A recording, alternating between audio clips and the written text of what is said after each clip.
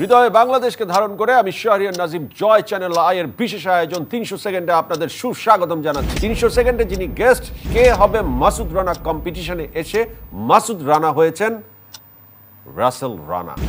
তো রাসেল রানা নামটা মাসুদ রানার সাথে অনেকটা মিলে যায়। তোমার নাম কি আসলেই রাসেল রানা ছিল নাকি শোতে আসবার জন্য সিনেমাটিক একটি নাম তুমি দিয়েছ?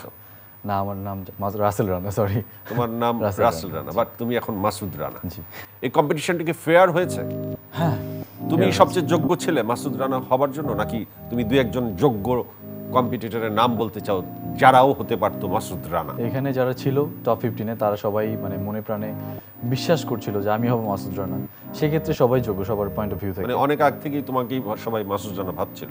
না না না মানে তারা নিজেকে বলছিল যে না আমরা হতে পারি মাসুদ রানা। সবার এই সবার মধ্যে কনফিডেন্ট ছিল আমার মধ্যেও ছিল তাদের পয়েন্ট অফ ভিউ থেকে। বাট ফাইনালি তোমার কাছে কাকে সবচেয়ে বেশি স্ট্রং মনে হয়েছে কম্পিটিটর তোমার সাথে? আমার কাছে টপ থ্রি যারা ছিলাম তিনজনকে মনে হয়েছে মানে বাকি টপ থ্রির বাইরে আর কাউকে মনে হয়নি? এর বাইরেও মনে হয়েছে বাট টপ থ্রিতে যারা ছিল তারা একটু বেশি মনে হয়েছে যে এদের মধ্যে থেকে হওয়ার চান্সটা বেশি। আমরা সাধারণ মানুষরা অনেক সময় শুনে থাকি যে মেয়েদের বিউটি কন্টেস্ট হয় মেয়েরা সুন্দরী প্রতিযোগিতার মাধ্যমে বিশ্ব সুন্দরী বা বিভিন্ন সুন্দরী হয়ে উঠেন। তো সেখানে নাকি মেয়েদের অনেক ধরনের ঝামেলাও হয়। তো তুমি ছেলে একটা কম্পিটিশনের মধ্যে দিয়ে তুমি একটা প্রাপ্তি অর্জন করেছ। ছেলেদের কি সমস্যা হয়? টাকা পয়সা দিতে হয় নাকি কোনো? না না ছেলেদের ক্ষেত্রে কোনো সমস্যা হয় না আই থিঙ্ক তো বলতে বলতে quality মেয়েদের সব সমস্যা মেয়েদের? না মেয়েদেরও সমস্যা নেই। যদি কারও কোয়ালিটি থাকে সে অবশ্যই কাজ পাবে সেক্ষেত্রে কোনো সমস্যা হবে না। যদি কারও কোয়ালিটি না থাকে তারপর যদি সে কাজ চায় সেক্ষেত্রে তাকে হয়তো বা অন্য ওয়ে অবলম্বন করতে হবে। তোমার কি মনে হয় যে তুমি তো একটি কম্পিটিশনের মাধ্যমে মাসুদ রানা হয়ে গেছো? জি।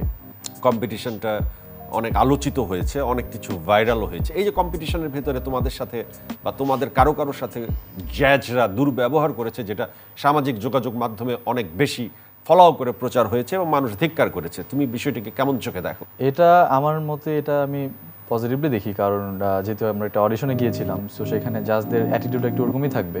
বিকজ এটা ছেলেদের রিয়েলিটি শো সেক্ষেত্রে ছেলেদেরকে তো আর বলা হবে না যে একটু হেঁটে দেখাও বা তোমার লুকস খুবই সুন্দর বা এটা সেটা তোমার চুল সুন্দর। সেক্ষেত্রে ছেলেদের ছেলেদেরকে অপমান করাটা সেটা এটা আসলে অপমান না মানে ব্যাপারটা হচ্ছে যে এখানে দেখা হয়েছে যে ছেলেটার মানে তোর অ্যাটিটিউড কেমন?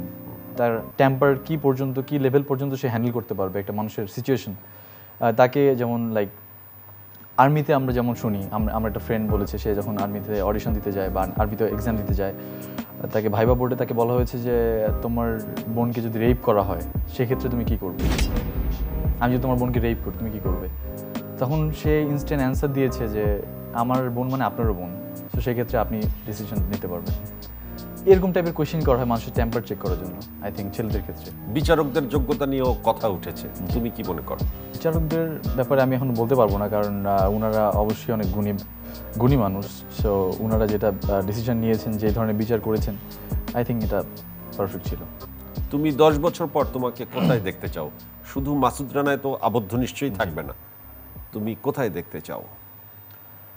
দশ বছর পরে আমি আমার ক্যারিয়ারটাকে অনেক বেশি মানে একটা ভালো প্ল্যাটফর্মে দেখতে চাই যে নায়ক হিসেবে? নায়ক হিসেবে দেখতে চাই যে আমার বেশ কিছু ভালো কাজ করেছি আমি এবং আমার অডিয়েন্সরা আমাকে খুব পছন্দ করছে। এই ধরনের ভালো একটা পজিশন দেখতে চাই আমি। এদেশের সিনেমার অবস্থা সম্পর্কে তোমার জানা আছে? মোটামুটি। তোমার কি এটাতে হতাশা হয় না অনেক বেশি তুমি আশান্বিত? আমি আশান্বিত যে আহ, আমাদের ইয়ুথরা যদি এগিয়ে আসে তাহলে হয়তো আমাদের সিনেমা ইন্ডাস্ট্রি অনেক বেশি মানে আগে যেমনটা ছিল তেমন ভাবে আবার ব্যাক করতে পারবে কাম করতে পারবে। কি কি কোয়ালিটি থাকা দরকার সিনেমার নায়ক হওয়ার জন্য?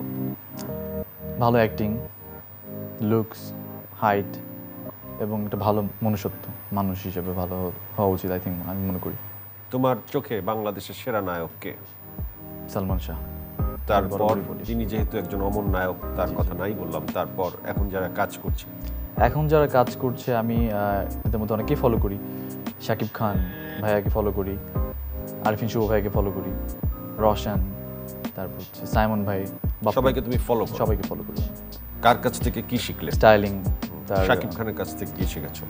শাকিব খান ভাইয়ের কাছ থেকে যেটা অ্যাটিটিউড ব্যাপারটা যে কোনো নায়িকাকে বিয়ে করতে বললে কাকে বিয়ে করতে চাইবে?